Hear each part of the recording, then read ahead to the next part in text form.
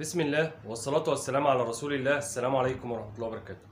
آه ما زلنا يا جماعة في الحديث على آه موسم الفرخ اللي إحنا داخلين عليه.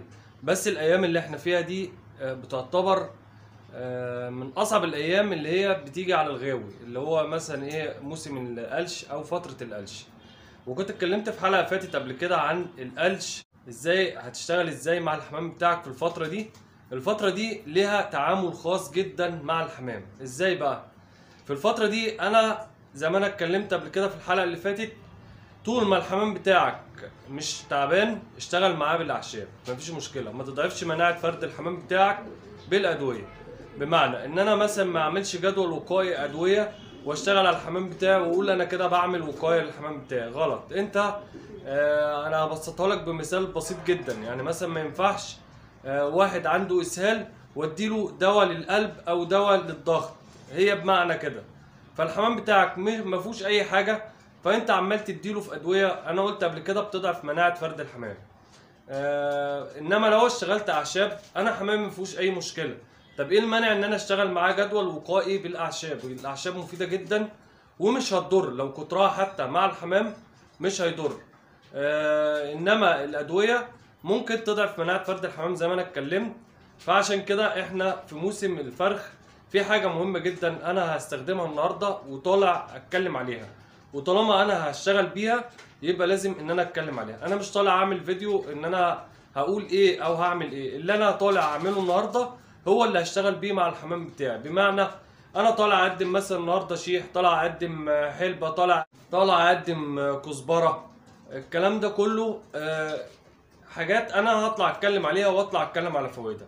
آه، لو هدي علاج للفرد التعبان اللي عندي هطلع أقول أنا عندي فرد تعبان وهديله كذا كذا كذا وأنا عملت قبل كده معاه ونفع الموضوع ده معاه. غير كده أنا ما بطلعش أتكلم في أي فيديو آه، عمال على بطال واطلع إن أنا أقول أي أي كلام. الفيديو هو بيجي لوحده الحمد لله. طيب عشان ما نطولش مع بعض في الموضوع آه، طبعا إحنا اتكلمنا إن إحنا في فترة القلش وفترة القلش دي بتبقى أصعب فترة عند الغاوي. طبعا إحنا بنعزل ال- الدكوره بنبوبها لوحدها في في بيبان. اللي خلص قلش بقى إيه بدخله طبعا بدخل النتاية على الذكر زي ما إحنا قلنا. طب في الفترة دي يا جماعة أنا كنت اتكلمت قبل كده في فيديو واتكلمت عن الريش الصغير اللي هو في قلب السلاكة بتاعتك أو في قلب العشة بتاعتك اللي هو بيحصل نتيجة القلش أو نتيجة ال- الذكر أو النتاية اللي هي بترمي الريش بتاعها اللي هو الصغير اللي بيتطاير ده. أخطر أخطر حاجة بتبقى موجودة داخل السلاكة وإحنا ممكن نبقى مستهترين بيها.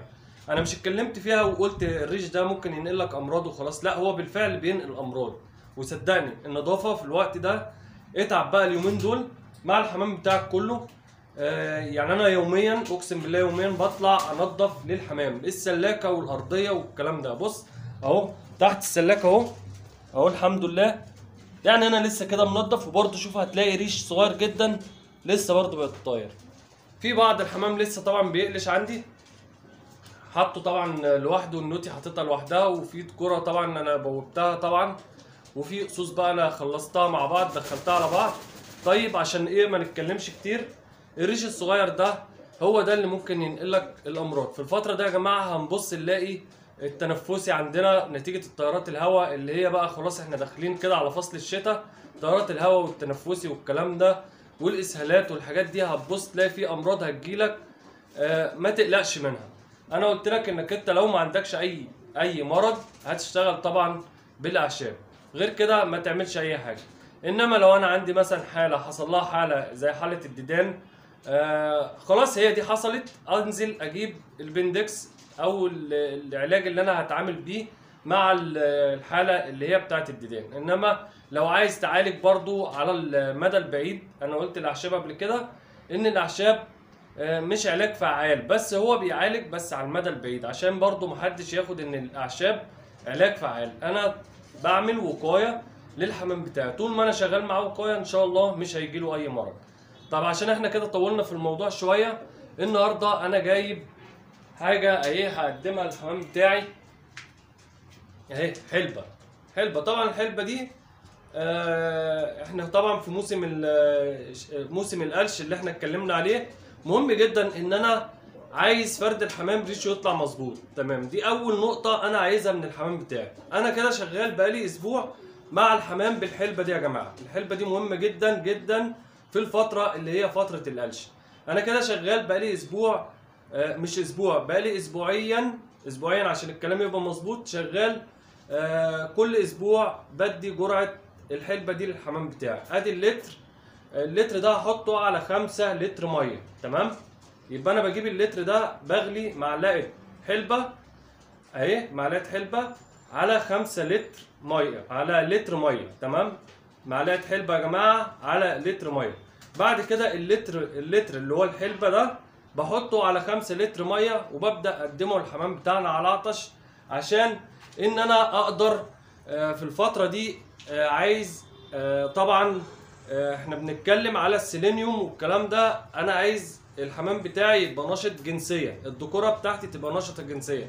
يبقى أنا حتى لو مش هجيب ال- السيلينيوم يبقى أنا عندي السيلينيوم أهو طبيعي. إيه المشكلة بقى إن أنا أشتغل مع الحمام بتاعي في الفترة دي بالسيلينيوم الطبيعي اللي هو الرباني اللي هو الحلبة؟ قلنا قبل كده واتكلمت عليها في الفيديوهات عندي إن الحلبة دي مهمة جدا آه، للحمام أو للذكورة اللي هي باردة جنسيا أو هو بيبقى منشط جنسي بمعنى أصح للذكورة. زائد إن أنا في الفترة اللي هي بتاعة القرد القلش عايز الريش بتاعي يطلع كويس ومظبوط للحمام بتاعي ويبقى ريش لامع تاني حاجة أو تالت فايدة بتبقى في في الحلبة دي إن هي بتطلع زي زيوت آه، أو رائحة. الريحة بتاعتها دي بتطرد الفاش أو أي دبان بيبقى موجود عند ال- الحمام آه، زائد إن هي بتبقى ملمع للريش. تمام؟ بتلمع الريش نتيجه الزيوت اللي هي بتطلع أو الدهون اللي بتطلع من الجسم بتاع فرد الحمام بتاعنا لما بيشرب الحلبة. آه، تالت حاجة أو رابع حاجة آه، بتعالج التنفسي. يعني لو عندك أي مرض تنفسي هي طبعا مش بتعالج هي بتقي من أمراض التنفسي. وعلى المدى البعيد برضو زي ما إحنا قلنا إن الأعشاب على المدى البعيد بتعالج الأمراض التنفسية والكلام ده آه، بالنسبة للحلبة.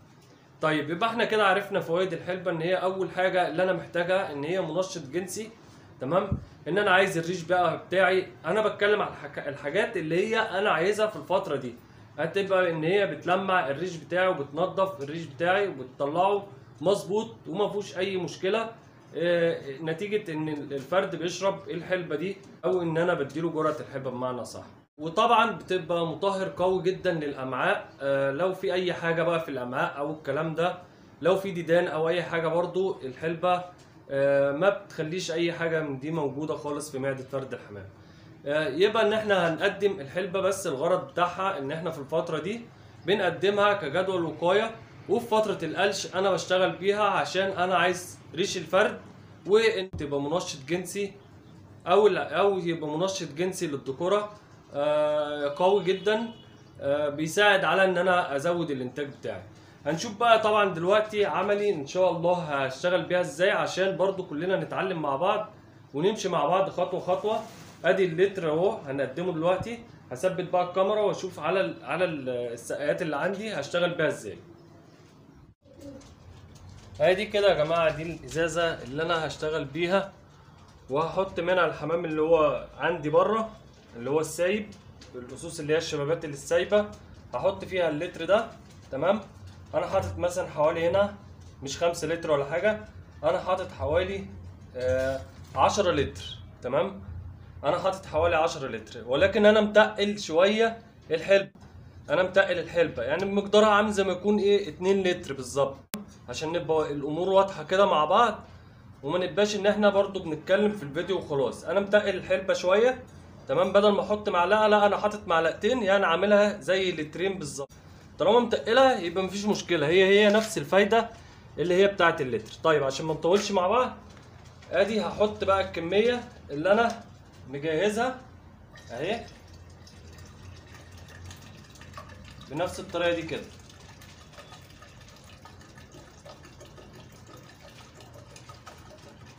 طبعا يا جماعة الحلبة دي ما بيبقاش عليها سكر عشان محدش يحليها. هي حلبة سادة بس. وادي اللون بتاع طبعا المية اتغير بالطريقة دي كده. أبدأ بقى إن أنا طبعا زي ما إحنا متعلمين مع بعض أنا لما بكون عندي علاج بعمل بالطريقة دي كده. أهي بملى بقى المسائل بتاعتي. ولازم أعطش الحمام يا جماعة. أهو أكمل بقى وأخلص وأرجع لكم.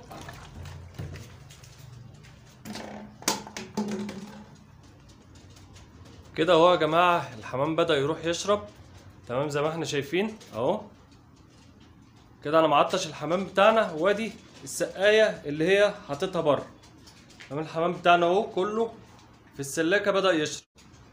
مرة في الأسبوع يا جماعة مرة في الأسبوع بس هتلاقي الحمام عندك بقى 100 100 ومفيش أي مشكلة.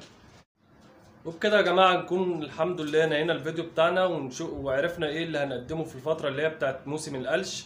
وازاي تتعامل مع الحمام بتاعك في الفترة دي. هي فترة القلش اللي أنا قلت أنا محتاج الريش ومحتاج ال- الخصوبة بتاعتي تبقى كويسة أو الخصوبة بتاعت الذكر تبقى كويسة. هو دي الحاجة اللي أنا المفروض إن أنا أشتغل عليها اسبوعيا مع الحمام بتاعي. كده بكون نهايه الحلقة بتاعتي معاكم. يا رب كده أكون قدرت أقدم مادة مفيدة لحضراتكم. ما تنسوناش في نهاية الفيديو بتاعنا آه، باللايك والشير عشان آه، الفيديو بتاعنا يوصل لأكبر عدد من محبي الحمام.